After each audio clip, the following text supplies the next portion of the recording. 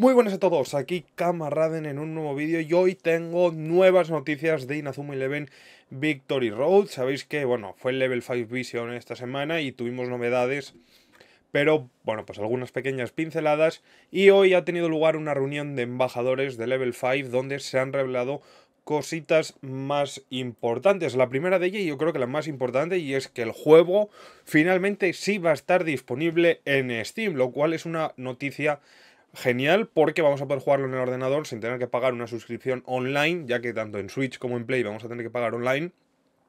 Así que por lo menos vamos a poder disfrutar de una versión con un online gratuito. Aunque como muchos seguramente se compren la versión de Switch o de PlayStation 5 por tener una versión física del juego si es que sale física, cosa que creo que sí. Además de todo esto, también se ha rumoreado, se ha dejado caer la posibilidad de un remake del primer Inazuma Eleven con la jugabilidad de Victory Road, lo cual puede ser espectacular teniendo en cuenta toda la historia del primer juego y personalmente pues es algo que tengo muchas ganas de ver. También nos han dicho que el motivo por el que solo hemos visto 5 o 6 personajes principales en los trailers es porque no habrá más que esos.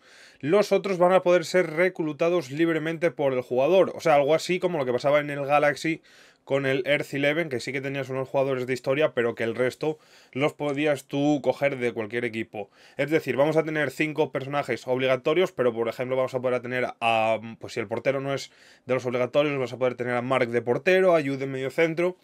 Entonces el equipo con el que cada uno se pase la historia va a ser diferente, lo cual creo que, bueno, está muy bien porque un poco de la gracia de Inazuma es precisamente eso, ¿no? Que cada uno se construya su propio equipo a su manera.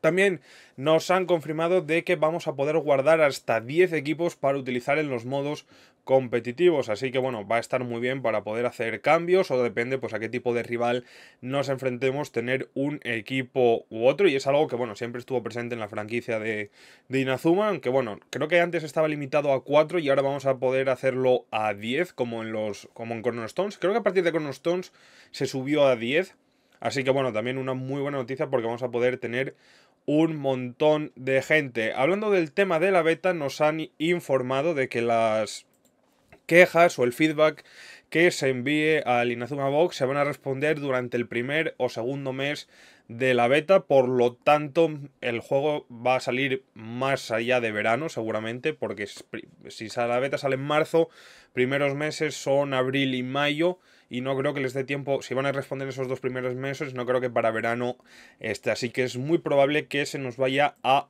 octubre.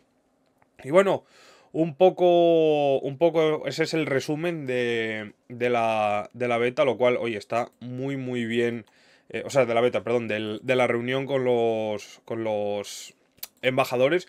Y yo creo que, bueno, está bastante bien, ¿no? Tener un poco más, eh, unas pinceladas más, eh, pues no sé, más generales a lo que va a ser el, el, juego. Y además también ha mencionado que va a haber más de 5.000 jugadores, porque, bueno, muchos de los jugadores principales o de los que conocemos van a tener varias versiones. Doy por hecho que es algo así como por, pues, Janus y Jordan, Xavier y Shen eh, Sound y el Sound Frost, eh, que es la personalidad de Aiden.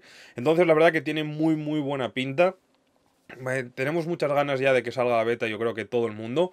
Una beta que va a estar activa prácticamente hasta la salida del juego, por lo que ha dicho hoy Level 5. Así que vamos a tener, eh, pues, contenido de sobra en el momento que salga la beta, tanto los creadores como los que somos fans de la saga para poder jugar. Y bueno, nada, eso es a grandes rasgos lo que se ha dicho hoy en la reunión. Eh, estoy personalmente más esperanzado que eh, con, el, con el Level 5 Vision, porque creo que se nos ha dado más detalles y nos han dejado a todos más tranquilos, a pesar de que aún no tengamos una fecha concreta. Pero bueno, sabiendo que va a salir para PC, yo creo que es una muy buena noticia. Y el hecho de que estén trabajando o potencialmente trabajando en un remake del primer juego también es algo que a mí personalmente me ilusiona. Así que nada, eso es todo. Dejadme en comentarios qué opináis acerca de las novedades de Nazuma Eleven Victory Road y nos vemos en el próximo vídeo. Chao, chao.